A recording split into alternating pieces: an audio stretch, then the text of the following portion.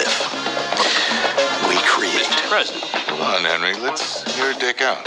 One of Dick Cheney's special superpowers was the ability to make the most wild and extreme ideas sound measured and professional.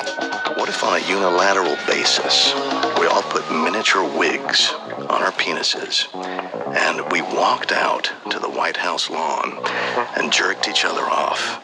So, like a puppet show, but much more enjoyable. Hmm. I do like a good puppet show. I say we do it. Henry